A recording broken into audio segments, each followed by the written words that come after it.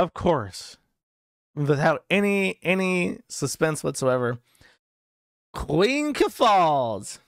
Queen Falls came about in the middle of 2021 and just decided I'm going to fuck with Destiny. I'm going to fuck with this streamer. And Then when I said, "Hey, that's retarded," uh, Keffals decided I'm gonna I'm gonna dedicate my entire life to grifting off the Kiwi farms.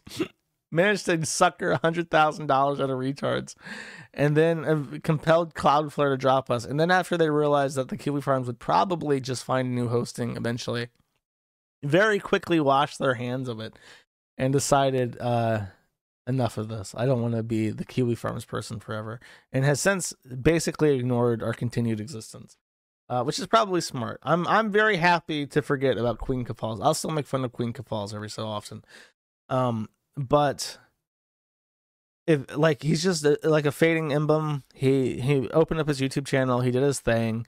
He tried to be like sexually aggressive to me and and be like this guy. Like I don't know. He just got real awkward and tried to be like insulting the way it's just like um maybe projecting there. Tried to uh fuck with my mom but so is everybody else for some reason. I don't know why people go for my mom every time we don't talk, uh, but they do. Uh, and now, if he just wants to isolate himself on his little on little streaming platform and fade away, more power to him. I I really, I I under, I respect the grift. Keffals is somebody who wanted to be famous, who wanted to make some money, and who pulled it off. Good more power to you, buddy. Uh, you know, a lot of people wish they could have that kind of hustle and grind. I hate Liz Fong Jones more, but I'll get to them in a second. Just in general with with Keffals, tried to fuck with Destiny.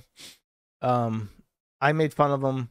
He he took up arms against the Kiwi Farms, managed to get Cloudflare to drop us after putting up enough pressure and getting the media involved.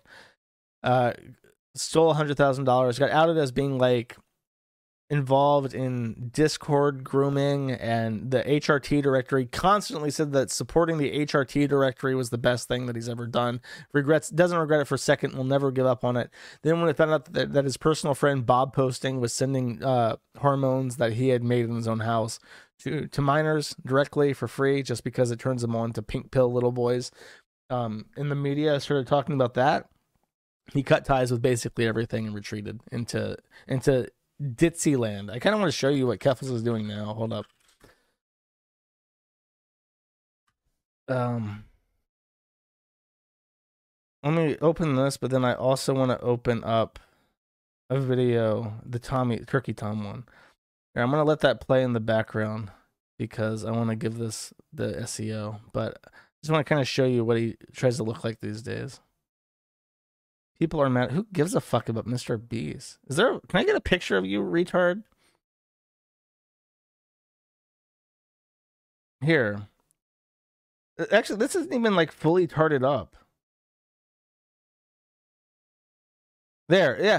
This is how he tries. He tries to look like this now, like with all the filters and tr- like, uh, tr- oh my god, thinking about those sloppy fucking man tits pointing out outwards, pressed together by the by the power of a like a Cambodian hand woven corset to try and get those mantic cleavage just together. And he's like, "Oh, I'll put on like the Tumblr blush, so I look like Belle Delphine." Um, really quite sad. So they they've they've evolved from uh from this to try to be this and just be like, oh, I'm gonna be like the HSTS now. I'm gonna be the homosexual transsexual. I'm gonna take care of myself so I don't embarrass myself in public every time I go outside with my unit hunch. Uh, yeah, more power to you, buddy.